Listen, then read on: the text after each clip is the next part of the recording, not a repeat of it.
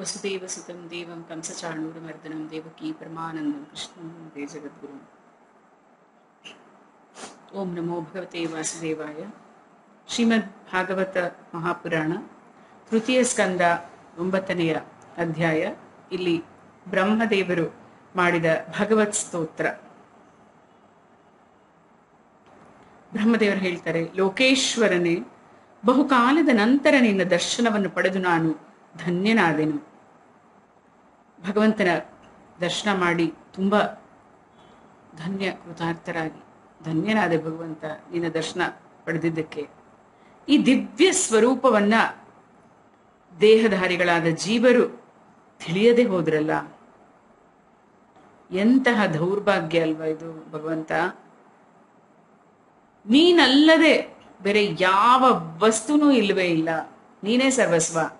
ನೀನಿಲ್ಲದೆ ಬೇರೆ ಯಾವ ವಸ್ತು ಸಹ ಇಲ್ಲ. ಯಾಕೆ ಅಂತ ಹೇಳಿದ್ರೆ ಮಾಯೆಯ ಗುಣಗಳು ಕ್ಷೋಭಿತವಾದ ಕಾರಣ ಕೇವಲ ನೀನೇ ಅನೇಕ ರೂಪಗಳಲ್ಲಿ ಕಂಡು ಬರ್ತೀಯ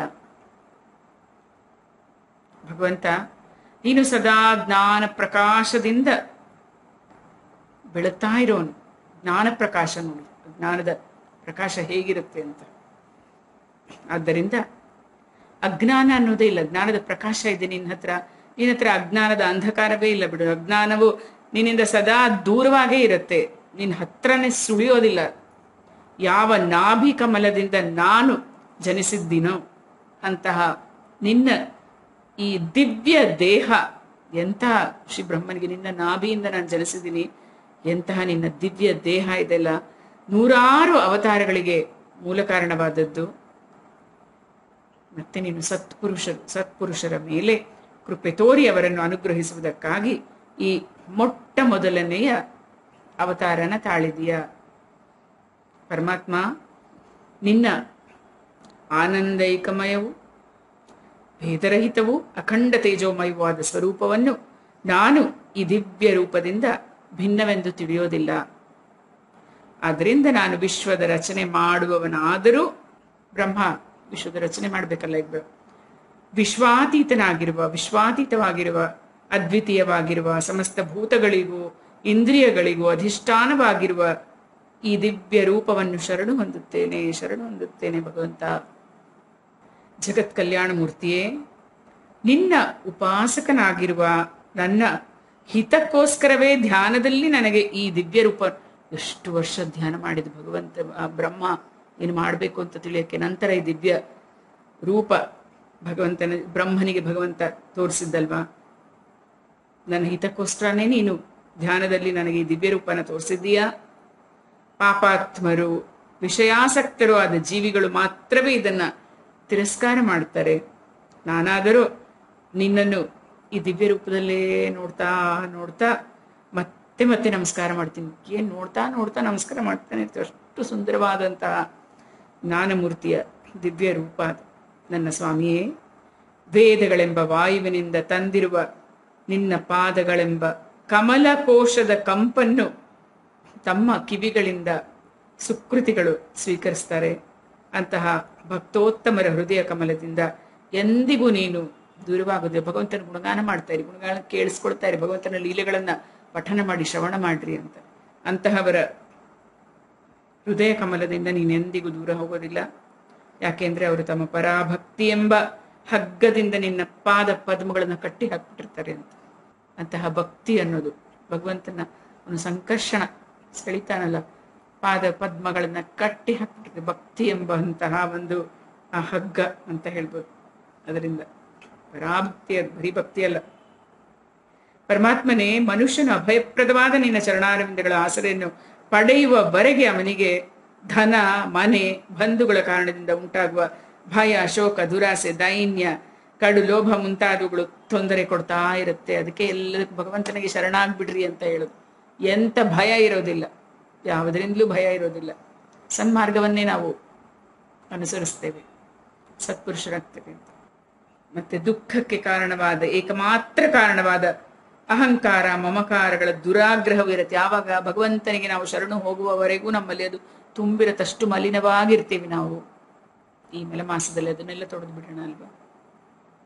ದೇವದೇವನೇ, ಮೂರ್ಖರು ಎಲ್ಲ ಅಮಂಗಳವನ್ನು ನಾಶಪಡಿಸುವ ನಿನ್ನ ಶ್ರವಣ ಕೀರ್ತನೆ ಮುಂತಾದ ಸತ್ಪ್ರಸಂಗಗಳಿಂದ ಇಂದ್ರಿಯಗಳನ್ನು ಬೇರೆಡೆ ಸೆಳೆದು ಅಣುಮಾತ್ರವಾದ ವಿಷಯ ಸುಖಗಳನ್ನೇ ಬಯಸುತ್ತಾ ದೀನರಾಗಿ ಮನಸ್ಸಿನಲ್ಲಿ ಆಸೆ ಪಡುತ್ತಾ ದುಷ್ಟ ಕರ್ಮಗಳಿಗೆ ತೊಡ, ತೊಡುತ್ತಾರೆ. ದುಷ್ಟ ಇವರಿಗೆ, ಮೂರ್ಖರಿಗೆ ಎಲ್ಲಿ ಗೊತ್ತು?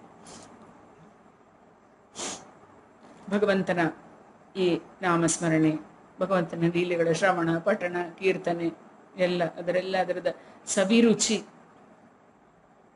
ಏನ್ ಗೊತ್ತವರಿಗೆ ಅದನ್ನೆಲ್ಲ ದೂರ ಇಟ್ಟು ಬೇರೆ ವಿಷಯ ಸುಖಗಳನ್ನೇ ಬಯಸ್ಕೊಂಡು ಅದ್ರ ಹಿಂದೆನೆ ಹೋಗ್ತಾರೆ. ಬಿಸಿಲುಗುದ್ರೆ ಬೆನ್ ಬೆನ್ನೇರಿ ಅಂತ ಹೇಳ್ಬಿಟ್ಟು ಅದರಿಂದ ದುಷ್ಟ ಕರ್ಮಗಳಲ್ಲಿ ತೊಡಗ್ತಾರೆ ಅವರು. ಅದೃಷ್ಟದಿಂದ ವಿವೇಕವನ್ನು ಕಳೆದುಕೊಂಡ ಅಂತಹವರು ನಿಜವಾಗಿ ಬಡಪಾಯಿಗಳು. ಪಾಪ ಅನ್ಸುತ್ತೆ ಅವರನ್ನ, ಅಂತಹವ್ರನ್ನ ನೋಡಿದ್ರೆ.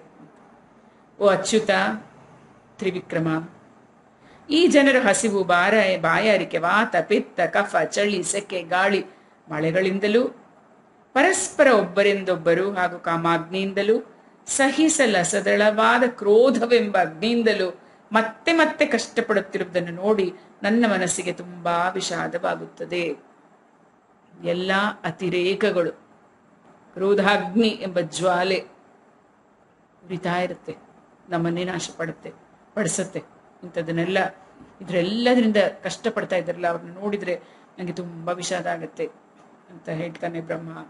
ಎಲ್ಲ ಈ ಪ್ರಭುವೇ, ಮನುಷ್ಯನು ಎಲ್ಲಿಯರ ಎಲ್ಲಿಯವರೆಗೆ ಇಂದ್ರಿಯ ಮತ್ತು ಅವುಗಳ ವಿಷಯ ರೂಪವಾದ ಮಾಯೆಯ ಪ್ರಭಾವದಿಂದ ನಿನ್ನಿಂದ ತನ್ನನ್ನು ಬೇರೆಯಾಗಿ ನೋಡುತ್ತಾನೋ, ಅಲ್ಲಿಯವರೆಗೂ ಅವನಿಗೆ ಈ ಸಂಸಾರ ಚಕ್ರದಿಂದ ಬಿಡುಗಡೆಯಾಗುವುದಿಲ್ಲ. ಪರಮಾತ್ಮನಿಗೆ ಮೊರೆ ಹೋಗುವವರೆಗೂ ಸಂಸಾರ ಚಕ್ರದಿಂದ ಬಿಡುಗಡೆ ಇಲ್ಲ ಯಾವುದೋ ಸುಖವನ್ನೇ ಬಯಸಿ ಹೋಗ್ತಾ ಇರ್ತೀನಿ ಹಿಂದೆ. ಈ ಜಗತ್ತು ಮಿಥ್ಯೆಯಾಗಿದ್ದರೂ ಕರ್ಮ ಫಲವನ್ನು ಭೋಗಿಸುವ ಕ್ಷೇತ್ರವಾದ್ದರಿಂದ ಅವನನ್ನು ನಾನಾ ಪ್ರಕಾರದ ದುಃಖಗಳಲ್ಲಿ ಸಿಕ್ಕಿಸ್ತಾ ಇರುತ್ತೆ. ದೇವ ಅಗ್ನರಾದ ಇತರರ ಮಾತಿರಲಿ. ಅಗ್ನರು ಬಿಟ್ಬಿಡೋಣ. ಋಷಿ ಮುನಿಗಳು ಇರ್ತಾರಲ್ಲ, ಅವರು ಕೂಡ ನಿನ್ನ ಕಥಾ ಪ್ರಸಂಗಕ್ಕೆ ವಿಮುಖರಾದರೆ ಸಂಸಾರ ಬಂಧನಕ್ಕೆ ಒಳಗಾಗಬೇಕಾಗತ್ತೆ. ಅವ್ರ ಹಗಲಿನಲ್ಲಿ ಬಗೆ ಬಗೆಯ ವಿಷಯ ವ್ಯಾಪಾರಗಳಲ್ಲಿ ಆಸಕ್ತರಾಗಿರುವುದರಿಂದ ಅವರ ಚಿತ್ತವು ವಿಕ್ಷಿಪ್ತವಾಗಿರ್ತದೆ. ರಾತ್ರಿಯಲ್ಲಿ ಅವರು ಪ್ರಜ್ಞೆ ಇಲ್ಲದೆ ನಿದ್ದೆಯಲ್ಲಿ ಬಿದ್ದುಕೊಂಡಿರ್ತಾರೆ.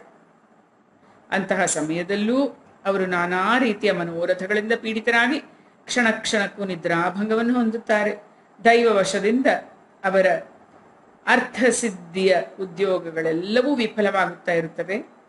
ಸ್ವಾಮಿ, ಶ್ರವಣ ಮನನಾದಿಗಳಿಂದ ನಿನ್ನ ಮಾರ್ಗವನ್ನು ತಿಳಿದು ಅನನ್ಯವಾದ ಭಕ್ತಿ ಯೋಗದಿಂದ ಮನಸ್ಸನ್ನು ಪರಿಶುದ್ಧಗೊಳಿಸಿಕೊಂಡಿರುವವರ ಹೃದಯ ಕಮಲ, ಕಮಲದಲ್ಲಿ ನೀನು ವಾಸ ಮಾಡ್ತಾ ಇದ್ದೀಯ?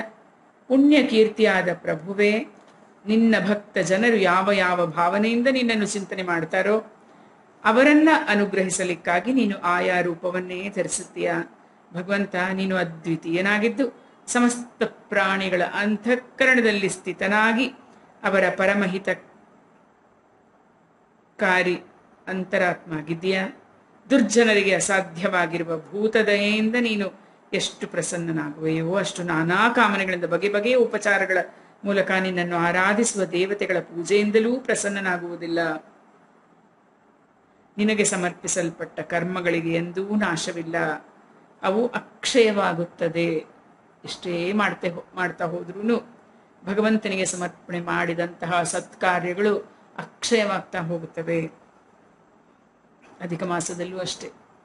ಅಧಿಕಸ್ಯ ಅಧಿಕಂ ಫಲಂ ಅಂತ ಹೇಳಿದ್ರು ಒಂದು ಕೆಲಸ ಮಾಡಿ, ಒಂದು ಒಳ್ಳೆತನ ಮಾಡಿದ್ರೆ ಹದಿನಾರರಷ್ಟಾದ್ರೂ ಅದರ ಒಂದು ಫಲ ಸಿಗತ್ತೆ, ಅಕ್ಷಯವಾಗತ್ತೆ ಅಂತ. ಅದರಿಂದ ಯಜ್ಞ, ದಾನ, ಕಠಿಣ ತಪಸ್ಸು, ವ್ರತಾದಿಗಳು ಮುಂತಾದ ನಾನಾ ಪ್ರಕಾರದ ಕರ್ಮಗಳ ಮೂಲಕ ನಿನ್ನ ಪ್ರಸನ್ನತೆಯನ್ನು ಪಡೆಯುವುದೇ ಸರ್ವೋತ್ತಮವಾದ ಕರ್ಮ ಫಲವು.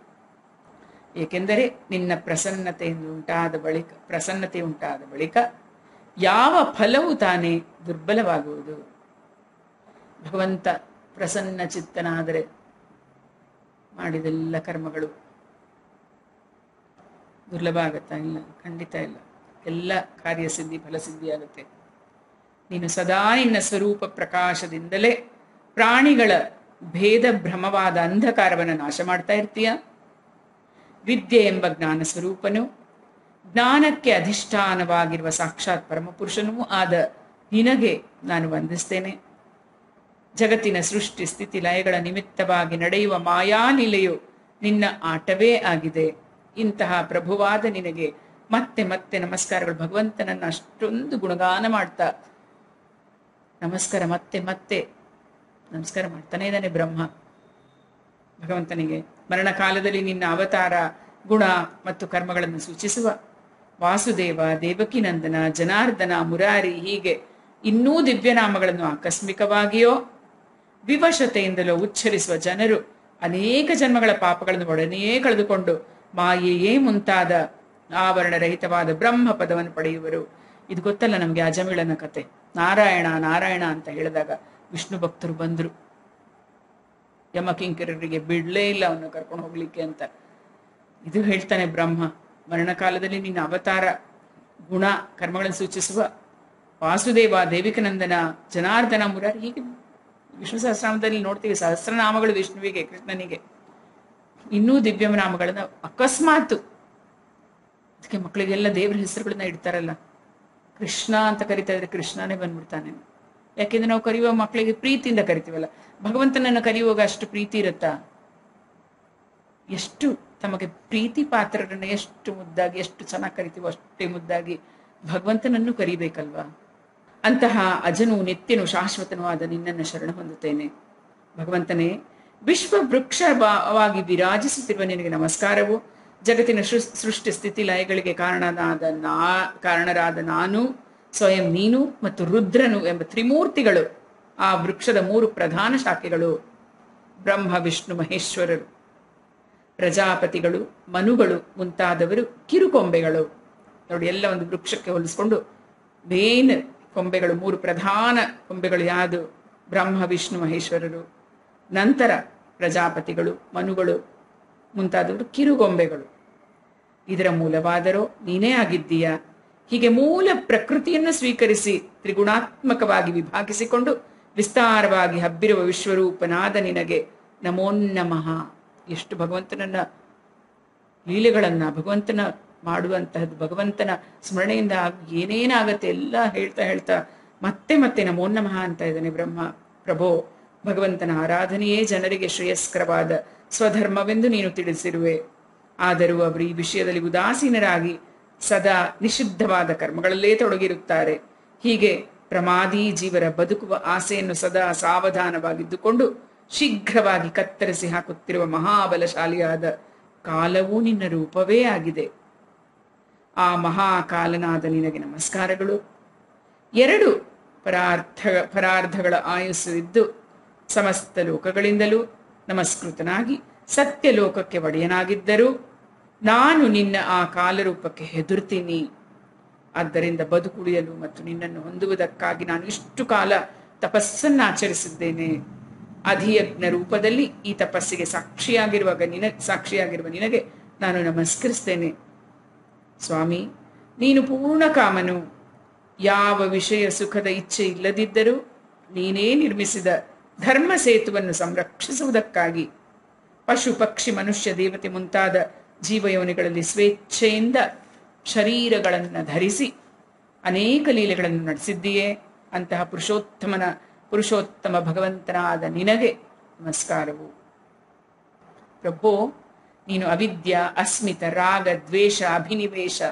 ಈ ಅಜ್ಞಾನಕ್ಕೆ ಕಾರಣವಾದ ಐದು ಕ್ಲೇಶಗಳಿಗೆ ಸ್ವಲ್ಪವೂ ವಶಪಡದವನು. ಆದರೂ ಇಡೀ ವಿಶ್ವವನ್ನು ಉದರದಲ್ಲಿ ಅಡಗಿಸಿಕೊಂಡು ಭಯಂಕರವಾದ ಅಲೆಗಳ ಮಾಲೆಗಳಿಂದ ಶೋಭೆಗೊಂಡ ಪ್ರಳಯ ಜಲರಾಶಿಯಲ್ಲಿ ಆದಿಶೇಷನೆಂಬ ಕೋಮಲವಾದ ಹಾಸಿಗೆಯಲ್ಲಿ ಪವಡಿಸಿದ್ದೀಯ. ಇಡೀ ವಿಶ್ವ ನಿನ್ನ ಉದರದಲ್ಲಿದೆ ಭಗವಂತ. ಎಲ್ಲಿದೆಯಾ ನೀನು? ಭಯಂಕರವಾದ ಒಂದು ಪ್ರಳಯ ಜಲ ರಾಶಿ ಇದು. ಇದರಲ್ಲಿ ಹಾಯಾಗಿ ನೀನು ಆದಿಶೇಷ ಎಂಬ ಒಂದು ಕೋಮಲವಾದ ಹಾಸಿಗೆಯಲ್ಲಿ ಪೌಡಿಸ್ಬಿಟ್ಟಿದೆಯಲ್ಲ ಭಗವಂತ. ಹಿಂದಿನ ಕಲ್ಪದ ಕರ್ಮ ಪರಂಪರೆಯಿಂದ ಬಳಲಿದ ಅನಂತ ಜೀವರುಗಳಿಗೆ ವಿಶ್ರಾಂತಿ ಕೊಡುವುದಕ್ಕಾಗಿಯೇ ಈ ನಿನ್ನ ಶಯನ ಲೀಲೆ ಯಾಕೆ ಪೌಡಿಸಿದನು ಭಗವಂತ ಅಲ್ಲಿ? ಹಿಂದಿನ ಕಲ್ಪದ ಕರ್ಮ ಪರಂಪರೆಯಿಂದ ಬಳಲಿದ ಅನಂತ ಜೀವರುಗಳಿಗೆ ವಿಶ್ರಾಂತಿ ಕೊಡೋಕ್ಕೋಸ್ಕರ ಸ್ವಾಮಿ, ನಿನ್ನ ನಾಭಿಕಮಲ ರೂಪಿ ಭ, ಜ, ಭವನದಲ್ಲಿ ನಾನು ಜನಿಸಿದ್ದೀನಿ. ಈ ಸಮಸ್ತ ವಿಶ್ವವು ನಿನ್ನ ಉದರದಲ್ಲಿ ಅಡಗಿದೆ. ನಿನ್ನ ಅನುಗ್ರಹದಿಂದಲೇ ನಾನು ಮೂರು ಲೋಕಗಳನ್ನು ಸೃಷ್ಟಿ ಮಾಡಿ ಉಪಕರಿಸುವ ಸಾಮರ್ಥ್ಯವನ್ನು ಪಡೆದಿದ್ದೀನಿ. ಈಗ ಯೋಗ ನಿದ್ರೆಯು ಮುಗಿದು ಹೋದ ವೇಳೆಯಲ್ಲಿ ಅರಳುತ್ತಿರುವ ತಾವರಿಯಂತಹ ಕಣ್ಣುಗಳಿಂದ ಕಂಗೊಳಿಸುತ್ತಿರುವ ನಿನಗೆ ನಮಸ್ಕಾರ. ಕಂಗುಳನ ಕಂಗುಳನ ಹೇಳ್ತಾ ಇದ್ದಾನೆ, ಭಗವಂತನ ಕಣ್ಗಳು ಹೇಗಿದೆ. ಅಂತ. ತಾ ಅರಳುತ್ತಿರೋ ತಾವರೆ ಅಂತ ಕಣ್ಗಳಿಂದ ಕಂಗೊಳಿಸ್ತಾ ಇದೆ. ನಮಸ್ಕಾರ, ಮತ್ತೆ ಮತ್ತೆ ನಮಸ್ಕಾರ ಮಾಡ್ತಾ ಇದ್ದಾನೆ ಬ್ರಹ್ಮ. ಇಲ್ಲಿ ನೀನು ಸಮಸ್ತ ಜಗತ್ತಿನ ಏಕಮಾತ್ರ ಸಹೃದನು, ಆತ್ಮನು, ಶರಣ್ಯನು, ಭಕ್ತಿಪ್ರಿಯನೂ ಆಗಿರುವ ನಿನಗೆ ನಮಸ್ಕಾರವು. ಹಿಂದಿನ ಕಲ್ಪದಲ್ಲಿ ಇದ್ದ ಹಾಗೆ ಈ ಜಗತ್ತನ್ನ ಸೃಷ್ಟಿಸಲು ಬಯಸಿದ್ದೇನೆ. ಆದರೆ ಅದಕ್ಕೆ ಬೇಕಾದ ಬುದ್ಧಿಯನ್ನು ಅನುಗ್ರಹಿಸು. ಏನು ಮಾಡಬೇಕು? ಏನು ಆ ಬುದ್ಧಿ ಕೊಡು ಭಗವಂತ ನನಗೆ. ಯಾವ ಜ್ಞಾನ ಮತ್ತು ಐಶ್ವರ್ಯಗಳಿಂದ ವಿಶ್ವಕ್ಕೆ ಆನಂದವನ್ನು ತುಂಬುತ್ತಿರುವೆಯೋ, ಅದು ನನ್ನ ಬುದ್ಧಿಯಲ್ಲಿ ಸೇವ, ಸೇರಿಕೊಳ್ಳೋ ಥರ ಮಾಡು ಭಗವಂತ. ಶ್ರೀಪತಿಯೇ, ಭಕ್ತವಾಂಚ ಕಲ್ಪತರುವೆ, ನಿನ್ನ ಶಕ್ತಿ ಸ್ವರೂಪಳೇ ಆದ ಶ್ರೀ ಲಕ್ಷ್ಮೀ ದೇವಿಯೊಂದೊಡಗೂಡಿ ಅನೇಕ ಗುಣಾವತಾರಗಳನ್ನ ಮಾಡಿ ಹಲವಾರು ಅದ್ಭುತ ಕರ್ಮಗಳಲ್ಲೇ ನಾನು ಮಾಡುತ್ತಿರುವ ಈ ಜಗತ್ ಸೃಷ್ಟಿಯ ಉದ್ಯಮವೂ ಒಂದಾಗಿದೆ. ಆದ್ದರಿಂದ ಈ ಸೃಷ್ಟಿ ಸಮಯದಲ್ಲಿ ನನ್ನ ಚಿತ್ತಕ್ಕೆ ಪ್ರೇರಣೆಯನ್ನು ನೀಡು ಅಂತ. ಏಷ ಪ್ರಪನ್ನ ವರದೋ ರಮಯಾತ್ಮ ಶಕ್ತಿಯ ಯದ್ಯತ್ ಕರಿಷ್ಯತಿ ಗೃಹೀತ ಗುಣಾವತಾರ. ತಸ್ಮಿನ್ ಸ್ವವಿಕ್ರಮಮಿದಂ ಸೃಜತೋಪಿ ಚೇತೋ. ಯಂ ಜೀತ ಕರ್ಮ ಶಮಲಂ ಚ ಯಥಾ ವಿಜ ವಿಜಹ್ಯಾಂ. ನನ್ನ ಬುದ್ಧಿಗೆ ಶಕ್ತಿಯನ್ನ, ಅಂದ್ರೆ ಚಿತ್ತಕ್ಕೆ ಪ್ರೇರಣೆ ಕೊಡು ಭಗವಂತ, ಅದಕ್ಕೆ ಶಕ್ತಿ ತುಂಬು. ಅದರಿಂದ ನಾನು ಸೃಷ್ಟಿ ರಚನಾ ವಿಷಯದಲ್ಲಿ ಅಭಿಮಾನಿ ರೂಪಿ ಕಶ್ಮಲದಿಂದ ದೂರ ಉಳಿಯಂತವ, ಕಲ್ಮಶದಿಂದ ದೂರ ಉಳಿಯುವಂತಾಗಲಿ. ಈ ಪ್ರಳಯ ಜಲರಾಶಿಯಲ್ಲಿ ಮಲಗಿದ ಅನಂತ ಶಕ್ತಿಯಾದ ನಿನ್ನ ನಾಭಿಕಮಲದಿಂದ ಜನಿಸಿರುವ ನಾನು, ನಿನ್ನ ವಿಜ್ಞಾನ ಶಕ್ತಿಯೇ ಆಗಿದ್ದೇನೆ.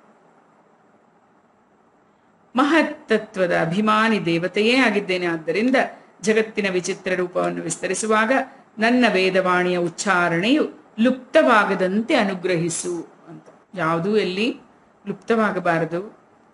ಆ ಅನುಗ್ರಹ ಮಾಡು ಪರಮಾತ್ಮ. ನೀನು ಪರಮ ಕರುಣಾಪೂರ್ಣನಾದ ಪುರಾಣ ಪುರುಷನು.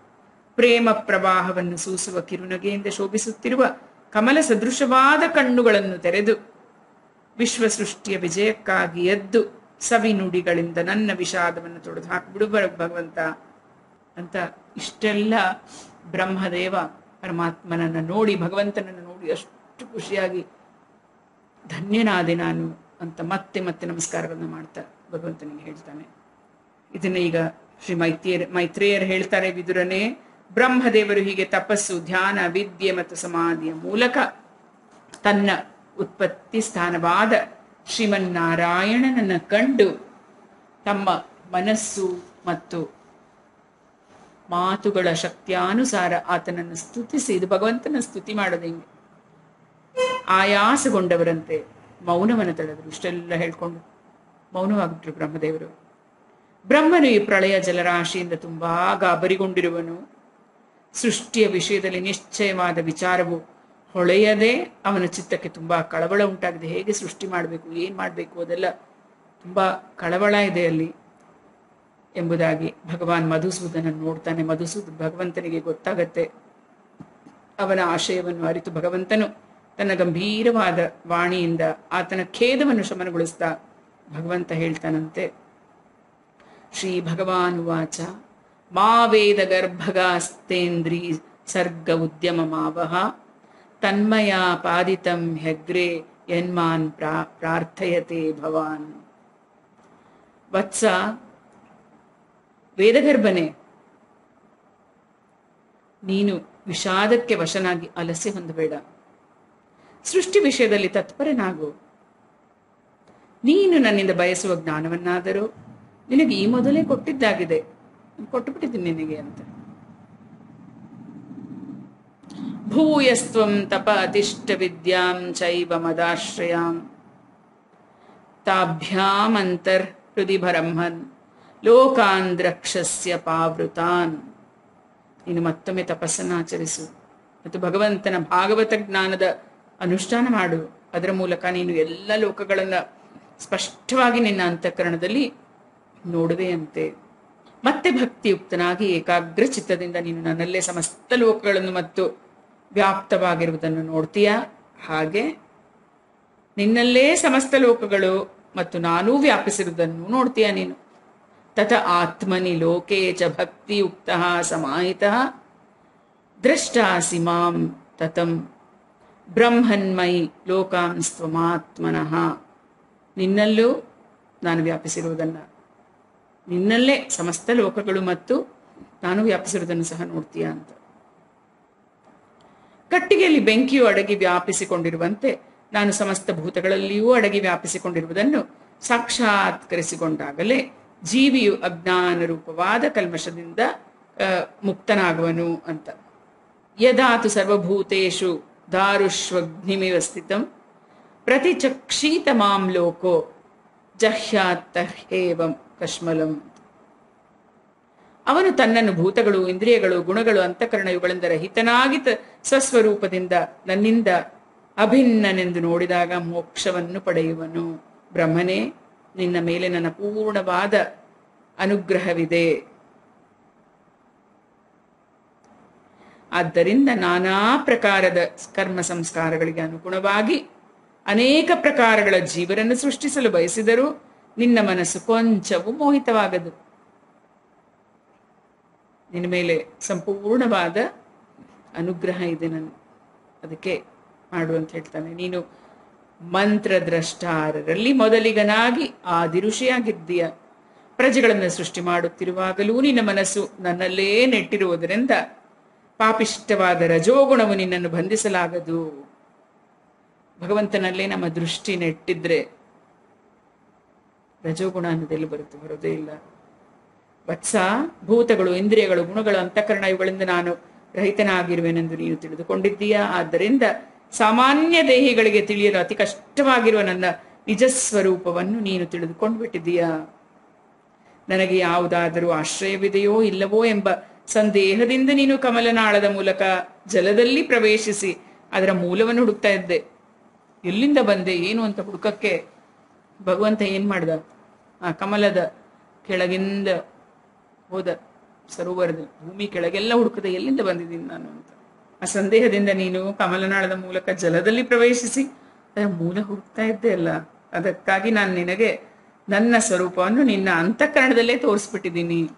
ಏನು ಹುಡುಕಿದ್ರು ಏನು ಸಿಗ್ಲಿಲ್ಲ ಬ್ರಹ್ಮದೇವನಿಗೆ. ಅದಕ್ಕೋಸ್ಕರ ಭಗವಂತ ಅವನ ಸ್ವರೂಪವನ್ನು ಅವನ ಅಂತಃಕರಣದಲ್ಲೇ ತೋರಿಸ್ಬಿಟ್ಟ. ಪ್ರಿಯ ಪುತ್ರನೇ ನೀನು ಮಾಡಿರುವ ನನ್ನ ಕಥಾ ವೈಭವದಿಂದ ಕೂಡಿದ ಸ್ತುತಿ ಮತ್ತು ನಿನಗಿರುವ ತಪೋನಿಷ್ಠೆ ಇವೂ ನನ್ನ ಅನುಗ್ರಹದಿಂದಲೇ ಉಂಟಾಗಿದೆ. ಎಲ್ಲದಕ್ಕೂ ಭಗವಂತನ ಅನುಗ್ರಹ ಇರಬೇಕು ಲೋಕಗಳನ್ನು ಸೃಷ್ಟಿಸುವ ಇಚ್ಛೆಯಿಂದ ನೀನು ನನ್ನನ್ನು ಸಗುಣನಾಗಿಯೂ, ನಿರ್ಗುಣನಾಗಿಯೂ ವರ್ಣಿಸಿ ಸ್ತೋತ್ರ ಮಾಡಿರುವುದರಿಂದ ನಾನು ಅತ್ಯಂತ ಸಂತುಷ್ಟನಾಗಿರುವೆನು. ನಿನಗೆ ಮಂಗಳವಾಗಲಿ. ಭಗವಂತ ಬ್ರಹ್ಮನಿಗೆ ಹೇಳ್ಬಿಟ್ಟೆ ನಿನಗೆ ಮಂಗಳವಾಗಲಿ ವತ್ಸ ಅಂತ. ಸ್ವಯಂಭುವೆ ಸಮಸ್ತ ಮನೋರಥಗಳನ್ನು ಈಡೇರಿಸುವ ಸಾಮರ್ಥ್ಯವುಳ್ಳ ಈಶ್ವರನು ನಾನು. ನೀನು ಮಾಡಿದ ಈ ಸ್ತೋತ್ರದ ಮೂಲಕ ಪ್ರತಿದಿನವೂ ನನ್ನನ್ನು ಭಜಿಸುವವನಿಗೆ ನಾನು ಬೇಗನೆ ಪ್ರಸನ್ನನಾಗುತ್ತೇನೆ. ಭಕ್ತಿಲಿ ನಿನ್ನ ಭಜಿಸುವೆನಯ್ಯ, ಬಾರೋ ವೆಂಕಟೇಶ. ಭಕ್ತಿಲಿ ಭಕ್ತಿ ನಿನ್ನ ಭಜಿಸ್ತೀನಿ, ಬಾರು ವೆಂಕಟೇಶ, ಬಾರು ವಿಷ್ಣು, ಬಾರು ಕೃಷ್ಣ ಅಂತ. ಕರಿತೀವಲ್ಲ? ಇಲ್ಲೇ ಭಗವಂತನೇ ಹೇಳ್ತಾನೆ. ನೀನು ಮಾಡಿದ ಈ ಸ್ತೋತ್ರದ ಮೂಲಕ ಪ್ರತಿದಿನವೂ ನನ್ನನ್ನು ಭಜಿಸುವವನಿಗೆ ನಾನು ಬೇಗನೆ ಪ್ರಸನ್ನವಾಗ್ತೀನಿ ಅಂತ. ಕೊಳ, ಬಾವಿ ಮುಂತಾದವುಗಳನ್ನು ತೋಡಿಸುವ ಪೂರ್ತ, ತಪಸ್ಸು, ಯಜ್ಞ, ಯೋಗ, ಸಮಾಧಿ ಮುಂತಾದ ಸಾಧನೆಗಳಿಂದ ದೊರೆಯುವ ಪರಮಮಂಗಳಮಯ ಫಲವು ನನ್ನ ಅಂದ್ರೆ ಭಗವಂತನ ಪ್ರಸನ್ನತೆಯಿಂದೇ ಆಗಿದೆ ಎಂದು ತತ್ವಜ್ಞಾನಿಗಳ ಅಭಿಪ್ರಾಯವಾಗಿದೆ. ವಿಧಾತನೆ, ನಾನು ಎಲ್ಲ ಆತ್ಮಗಳಿಗೂ ಆತ್ಮನಾಗಿದ್ದೀನಿ. ಪತ್ನಿ ಪುತ್ರಾದಿ ಪ್ರಿಯ ವಸ್ತುಗಳಿಂದಲೂ ಪ್ರಿಯನಾದವನು. ದೇಹಿಗಳಿಗೆ ದೇಹಾದಿಗಳು ನನಗೋಸ್ಕರವೇ ಪ್ರಿಯವಾಗಿದೆ. ಆದ್ದರಿಂದ ಪ್ರಿಯಕ್ಕೂ ಪ್ರಿಯತಮನಾಗಿರುವ ನನ್ನನ್ನೇ ಪ್ರೇಮಿಸಬೇಕು ಅಂತ. ಪ್ರಿಯಕ್ಕೂ ಪ್ರಿಯತಮ ಅಂದ್ರೆ ಎಷ್ಟು ಪ್ರೀತಿ ಉಳ್ಳವನು ಭಗವಂತ ಅವನೇ ಪ್ರೇಮಿಸಬೇಕು. ಬ್ರಹ್ಮನೇ ಮೂರು ಲೋಕಗಳನ್ನು ಮತ್ತು ಈಗ ನನ್ನಲ್ಲಿ ಲೀನವಾದ ಪ್ರಜೆಗಳನ್ನು ಹಿಂದಿನ ಕಲ್ಪದಲ್ಲಿ ಅವು ಹೇಗಿದ್ದವೋ ಹಾಗೆಯೇ ನನ್ನಿಂದ ಉತ್ಪನ್ನವಾದ ನಿನ್ನ ಸರ್ವವೇದಮಯ ಸ್ವರೂಪದಿಂದ ಸ್ವತಃ ರಚಿಸು. ಭಗವಂತ ಬ್ರಹ್ಮನ ಮೇಲೆ ಅನುಗ್ರಹ ಮಾಡಿ ಎಲ್ಲ ಹೇಳಿದ ನಿನ್ನಿಂದ ಸಾಧ್ಯವಿದೆ, ನೀ ಮಾಡ್ತೀಯ ಅಂತ. ಮೈತ್ರೇಯರು ಹೇಳ್ತಾರೆ, ಪ್ರಕೃತಿ ಮತ್ತು ಪುರುಷರಿಗೂ ಪ್ರಭುವಾದ ಭಗವಾನ್ ಪದ್ಮನಾಭನು. ಸೃಷ್ಟಿಕರ್ತರಾದ ಬ್ರಹ್ಮದೇವರಿಗೆ ಹೀಗೆ ಜಗತ್ತಿನ ಸೃಷ್ಟಿ ಕ್ರಮವನ್ನು ವ್ಯಕ್ತಪಡಿಸಿ, ಜಯವಾಗಲಿ ಅಂತ ಆಶೀರ್ವದಿಸಿ, ತನ್ನ ನಿಜ ರೂಪವನ್ನು ಕಣ್ಮರೆಯಾಗಿಸಿದನು. ಬ್ರಹ್ಮಗೆ ನಿಜ ರೂಪನ ತೋರಿಸಿದ್ದಾಯ್ತು. ಎಲ್ಲ ಬ್ರಹ್ಮ ಏನ್ ಮಾಡಬೇಕು ಅಂತ ಹೇಳಿ, ಬ್ರಹ್ಮನ ಮೇಲೆ ನನ್ನ ಅನುಗ್ರಹ ತೋರಿಸಿ, ತನ್ನ ನಿಜ ನಿಜರೂಪನ ಕಣ್ಮರೆ ಎನಿಸ್ಬಿಟ್ಟು ಭಗವಂತ ಅಂತ ಹೇಳೋದ್ರಲ್ಲಿ. ಇಲ್ಲಿಗೆ ಒಂಬತ್ತನೆಯ ಅಧ್ಯಾಯ ಮುಗಿಯಿತು. ಇತಿ ಶ್ರೀಮದ್ ಭಾಗವತೆ ಮಹಾಪುರಾಣೆ ಪಾರಮಹಂಸ್ಯಾಂ ಸಂಹಿತಾಯಾಮ್ ತೃತೀಯ ಸ್ಕಂದೆ ನವಮೋಧ್ಯಾಯ. ಓಂ ನಮೋ ಭಗವತೆ ವಾಸುದೇವಾಯ, ಓಂ ನಮೋ ಭಗವತೆ ವಾಸುದೇವಾಯ, ಓಂ ನಮೋ ಭಗವತೆ ವಾಸುದೇವಾಯ. ಕೃಷ್ಣಾರ್ಪಣಮಸ್ತು. ಸಮರ್ಥ ಸದ್ಗುರು ಸಾಯಿನಾಥ್ ಮಹಾರಾಜ್ ಕಿ ಜೈ. समर्थ सदगुरु साईनाथ महाराज की जय। समर्थ सदगुरु साईनाथ महाराज की जय।